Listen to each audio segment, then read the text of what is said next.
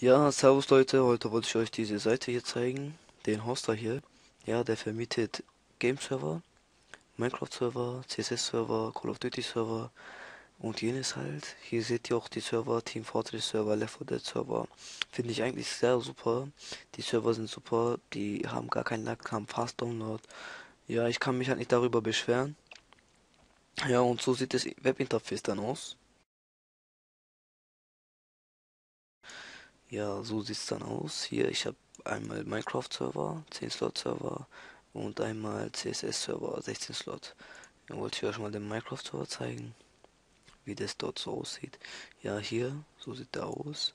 Ganz simpel sieht der Anfang aus. Ja, wenn ihr den starten wollt, drückt ihr auf Start, stoppen, stoppt den Server. Hier könnt ihr ein Backup installieren, ganz leicht. Hier habt ihr Screenlog, wie das da alles, ähm, was alles auf dem Server passiert ist und jenes halt alles mögliche. Und hier Mods und Add-ons, könnt ihr draufklicken, welche Mods, was ihr haben wollt auf dem Server und könnt ihr den direkt übers Webinter Webinterface installieren.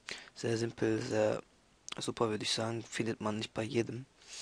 Ja, und danach hier, wenn man das hier drückt, Add-on installieren, drückt man drauf, Add-on installieren, dann installiert er den. Und dann muss man nur noch den Server neu, äh, neu starten und dann fertig. Und wenn man den deinstallieren will, Addon deinstallieren, draufdrücken, ist er weg, Server neu starten und dann ist der alles wieder fit. Ja, so soweit war es schon mal von mir und so sieht es dann im Game aus. So sieht der Server halt aus. So Leute, so sieht es dann aus. Ich habe halt nicht viel dran gemacht. Ja, so finde ich super. Relativ super sogar. Ich habe bis jetzt keine Lachs gefunden. Ich habe die Map halt neu aufgesetzt. Aber der Server ist super. Der leckt nicht. Naja, ich würde es euch nur empfehlen, wenn ihr einen Minecraft-Server haben wollt, würde ich nur den empfehlen. Ist auch gut vom Preis her.